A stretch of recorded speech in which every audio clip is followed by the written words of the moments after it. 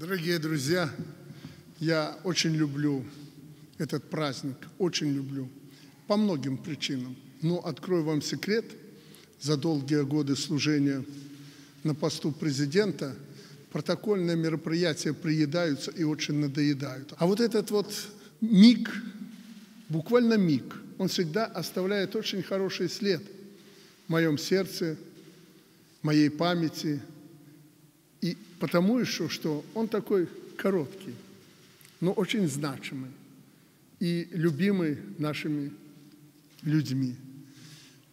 Мне остается, Владыка, вас, наших священнослужителей, поблагодарить за ваше мужество и стойкость.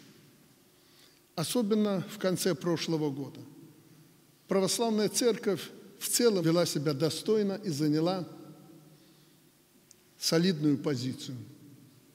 Народ это оценил и еще оценит. Оценки впереди, потому что большое видится на расстоянии. Все было непросто.